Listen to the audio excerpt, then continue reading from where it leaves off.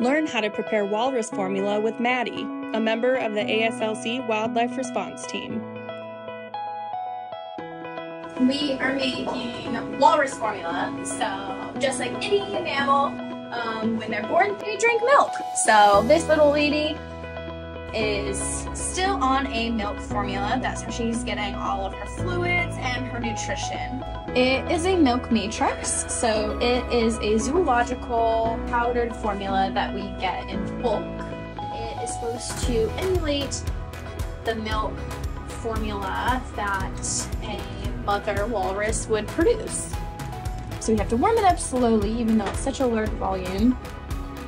We want it to be close to body temperature.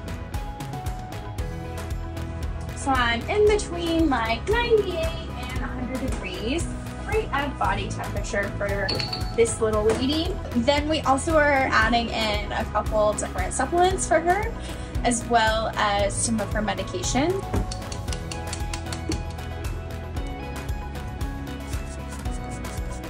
Make sure they're nice and mixed up so she can't tell that they're in there. And then put the nipple on and go feed it to her.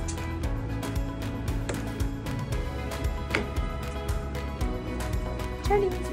I'm gonna go feed a walrus.